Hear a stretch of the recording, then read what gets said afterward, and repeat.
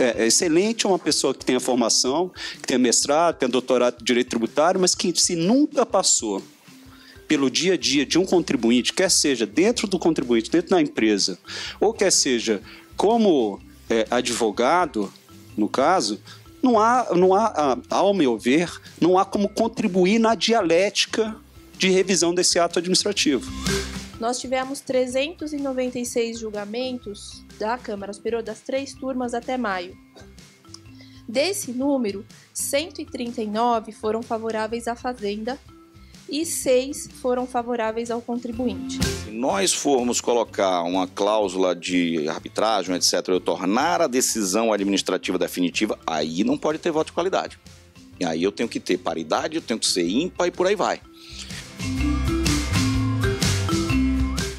Eu tenho uma percepção que às vezes o voto de qualidade que tem acontecido na Câmara Superior pode ser gerado por uma insegurança do conselheiro mais novo que às vezes ele encaminha pelo um voto, pelo, pelo um voto no sentido é, para não ficar sem uma posição mais conservadora, digamos assim. A grande maioria dos jogadores novos passavam a sessão praticamente calados, porque eles ainda não tinham processo para pautar, então eles não eram relatores ainda de nenhum processo e eles não levantavam questões no debate, eles não, não discutiam os casos e tudo mais. É, os dados que a gente tem são exatamente que confirmam o que o doutor Barreto falou, que a situação do contribuinte, tudo bem, ela se alterou depois das elotes, mas ela se alterou com o número de recursos providos que aumentou.